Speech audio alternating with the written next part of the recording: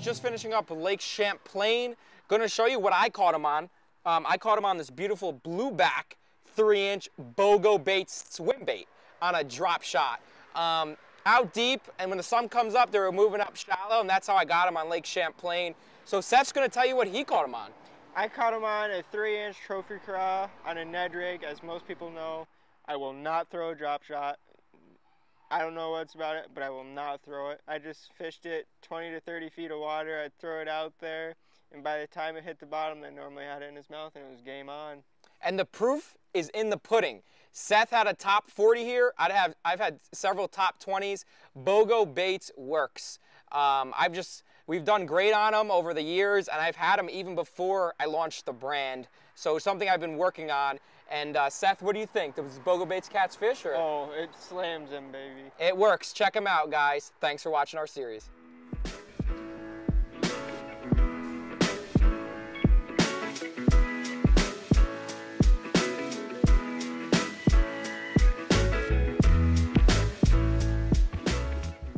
Are, Plattsburgh, New York. Stop number two, Life on Tour. We got the family with me, my mother and my sister. Woo! Let's go. Stop number two, Plattsburgh.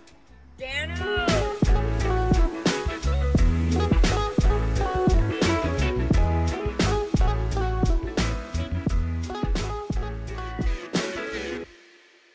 What's going on, guys? Just finishing up Lake Champlain. Um, awesome experience to have my family here and stuff. Um, we had a lot of key fish come off, but it's part of fishing. We had uh, we had fun, man. We caught a lot of fish this week. Um, I'm just gonna uh, show you kind of what I caught them on and how I caught them, just so if you ever come to Lake Champlain, you can do that. Um, basically, I caught a lot of these fish on a BOGO bait swim bait. And I put that on a drop shot, something you don't see often. Uh, just a three inch BOGO bait swim bait. We got these really unique colors on a drop shot. Um, I also caught some fish on a uh, the classic Jersey rig, which is a which is a wacky rig. Um, these smallmouth on these flats, just the big roamers love this wacky, and uh, that's really how I caught this fish, my fish this week.